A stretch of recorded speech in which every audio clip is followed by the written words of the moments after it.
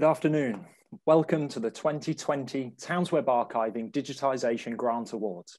What a year it has been. Thank you for joining us remotely and I trust you are keeping safe and well. Some quick housekeeping notes before we get started. The announcement will be recorded so that we can share it with others who are unable to join us.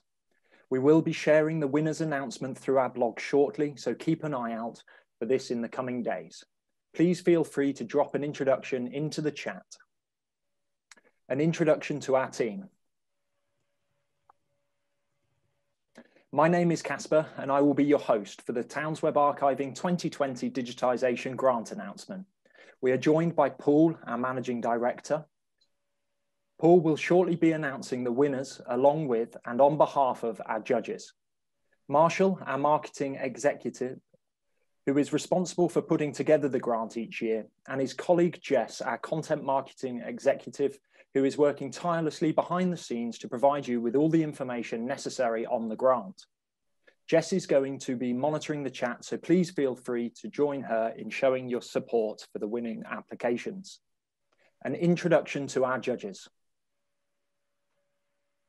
It is a pleasure to introduce our panel of judges, John, Joe and Paul.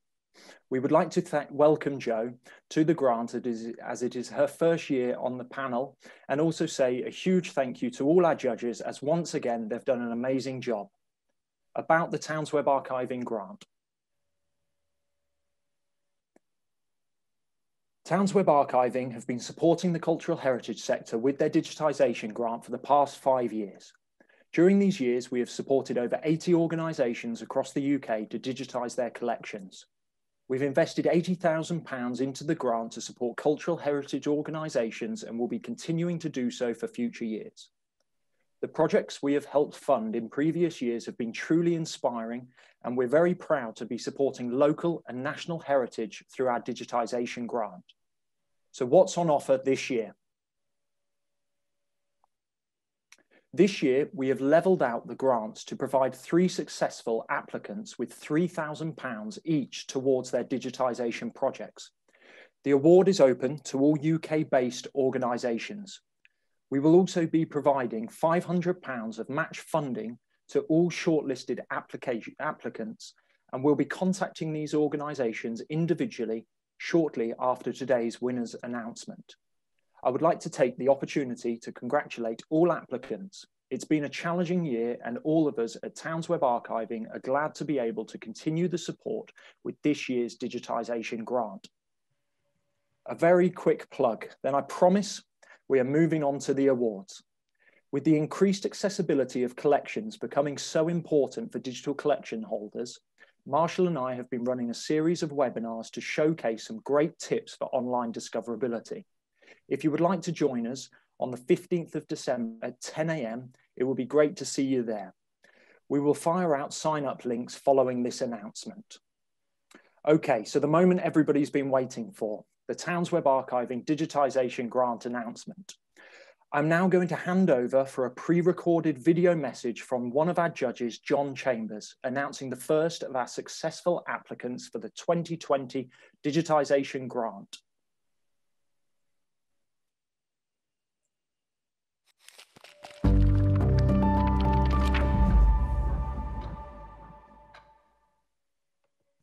Hello, I am John Chambers, Chief Executive of the Archives and Records Association, which is the leading membership organisation for those working in or interested in archives, records management and archive conservation across the UK and Ireland.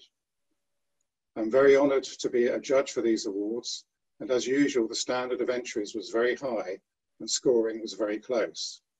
I'm very pleased to announce a winner of a TownsWeb Archiving grant for 2020 and the winner is the Corinthian Casuals Football Club.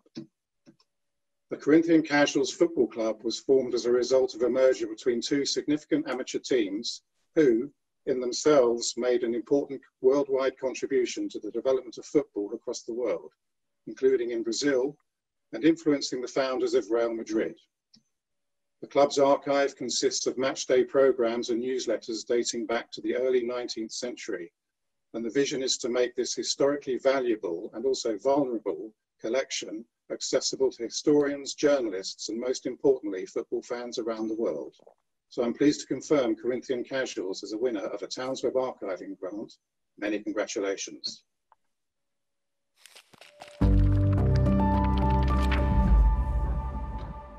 So a huge congratulations to the Corinthian Casuals Football Club for their successful application, digitisation of historical matchday programmes. In no particular order, I now hand over to Paul for the second of our successful applicants for the 2020 digitisation grant. Over to you, Paul. Thanks, Casper. Uh, good afternoon, everyone. My name is Paul Sugden, Managing Director here at TownsWeb Archiving and we're the proud providers of the annual digitisation grants. 18 months ago, I was doing this announcement from a packed, non-socially distanced ARA conference hall in Leeds. How times have changed this year, and I know it's been very, very tough for all of us. I do get a sense, though, that through these times, there has been a renewed vigour to digitise and make available important and not easily accessible archives. And I hope that these grants go some way to helping three UK organisations with that goal. Thank you to John Chambers for announcing the first winner, and I'd like to send my congratulations too to Corinthian Casuals Football Club. And so moving on to the second winner of the TWA Digitisation Grant for 2020, and this goes to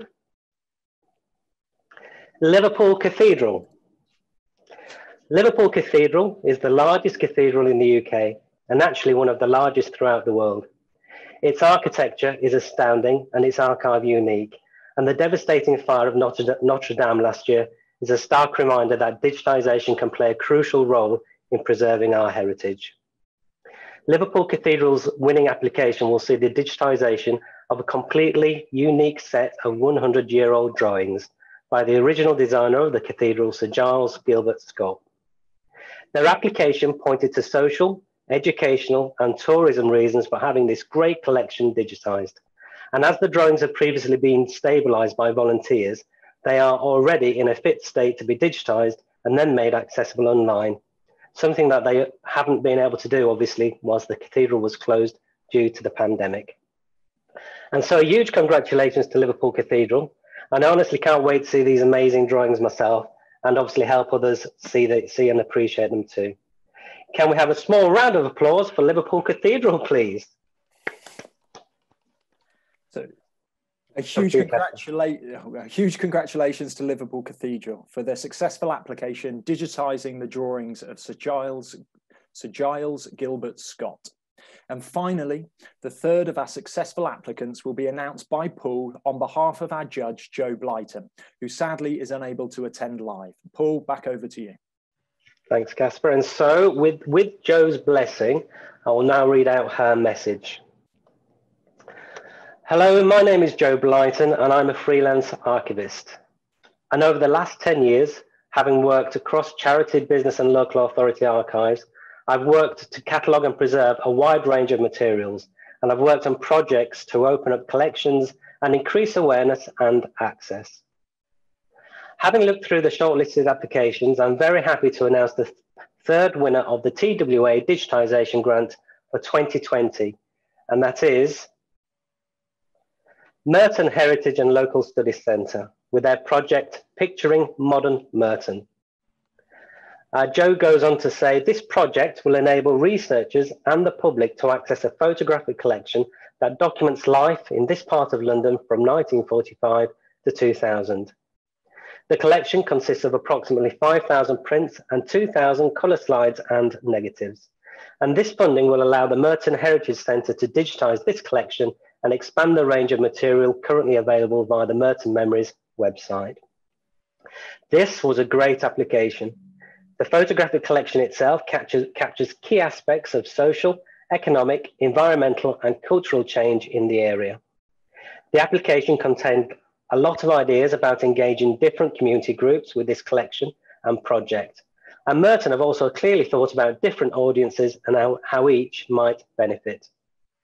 Their plans include recruiting a number of heritage volunteers who will receive training in research, cataloguing, display work, and collections care, a great element of the project. Their plans around improved accessibility and substantial in-house support in terms of staff time also made this a very strong project and a worthy winner. And so, okay, again, can we have a small round of applause to congratulate Merton Local Studies on their winning application, please? A, a huge, huge, congratulations to Merton Heritage and Local Studies Centre. I think I've just seen a message coming from Sarah there as well from the, the archive. So uh, the project is Picturing Modern Merton. This year was certainly not an easy selection for the judges. We had a tremendous application. We had a tremendous amount of applications from a wide range of UK organisations. From all of us at TownsWeb, and on behalf of our panel of judges, may we extend a huge thank you to all who applied. So what's next? We will be celebrating, celebrating details of the successful applications through our blog. So please do keep an eye out for this and join us in celebrating these wonderful projects. We will shortly be contacting all applicants and we will be also be informing our shortlisted organisations about their offer for match funding.